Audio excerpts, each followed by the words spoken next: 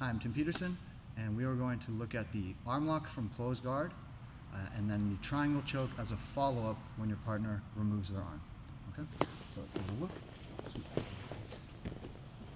it look like we're in pretty good frame here? Good. So it's the same start as before. Knees in the armpits, hands under my hamstrings. I pull. Travis pushes against that, and I'm able to get underneath his arms. I get a paw grip around the elbow. I go to his thumb or his knuckles, look across, keeping my jaw down, of course, as I drag his elbow across my spine. The same steps as the arm lock from before. Grab, bring his head down, bring my head up, lift his jaw, turn his eyes away.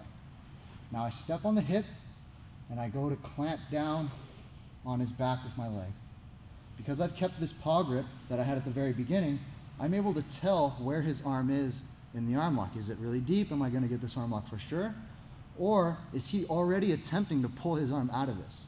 Okay? And if it's that second case, then instead of trying to just yank him into an arm lock, I will pull to give him the sense that I want the arm bar and get him to pull more.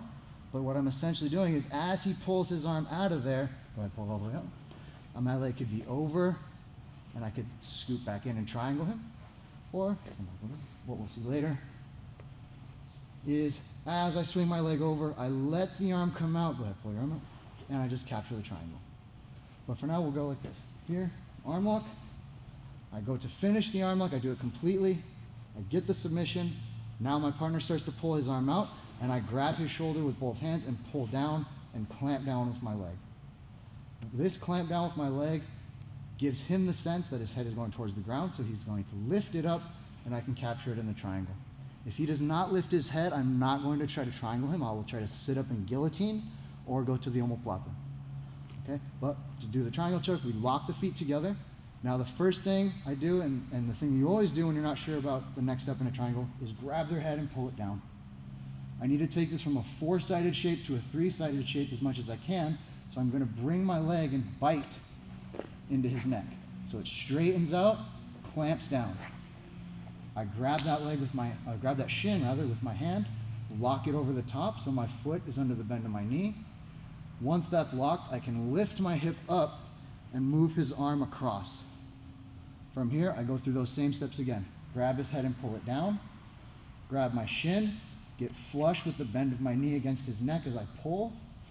Lock the triangle, and now move my spine underneath his arm. Now, for the finish, I want to swim underneath his arm and hold my knee. And then I want to sit up and cover the crown of his head with my forearm. Good way to remember this, and I'm loosening it up so Travis doesn't pass out in the middle of this, um, is to bring my shoulders all the way up to my partner's head before I start finishing the triangle. So I've locked, bring my shoulders all the way up to my partner's head, grab on, knees together, extend from the hip and pull with my grips to get the submission. Yep. So from the arm lock setup,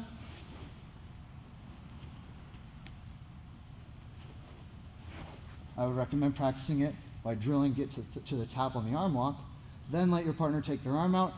As you switch your grips, clamp down. When you feel their head pop up, wrap them in the triangle, bring their head down, lock as much as you can on the triangle, whether it's here or here or here. Lock as much as you can. Then lift your hip and move the arm. And then readjust by biting into the neck with your knee, locking over top to close off the triangle. Get underneath their arm with your spine. Sit up, shoulders to their head, wrap around your legs, and close the triangle. Okay. Again, very uh, basic, but very, very important combination to understand. The arm lock from close guard, followed by the triangle when your partner extracts their arm. If you want more videos, please click below to subscribe. If you want to dive in deeper, you can click here to get a free video seminar I did of one of my favorite sequences uh, from standing to submission. And if you have any questions or anything you want to see, please leave it in the comments below.